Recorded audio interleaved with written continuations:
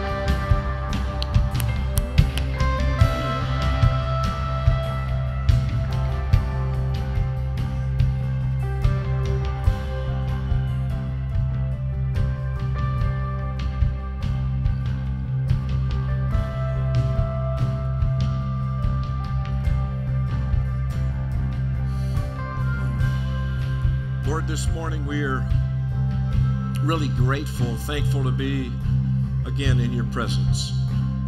Where else would we go? Where else really can we go?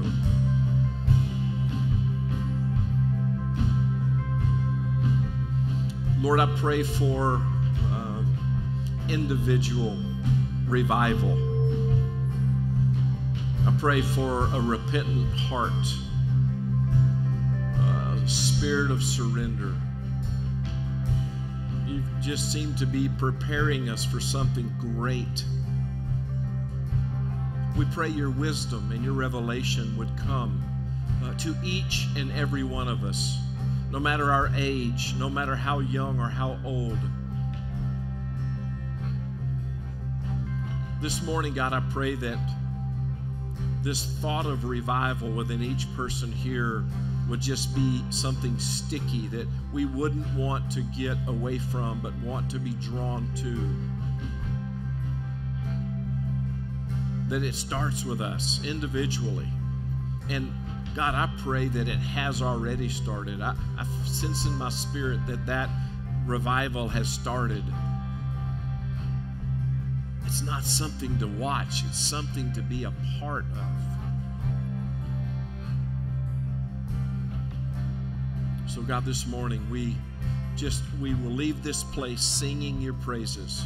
We will leave this place believing the truth that you are alive and well, and you're at the right hand of the Father Jesus, making intercessory for us, and that you have equipped us for the work of this world by depositing your Spirit, the same Spirit that raised you from the dead, the power of the Holy Spirit, the resurrection power, not only the power to heal, but to raise from the dead, lives in each one of us who say, You're my Lord. I want you to save me.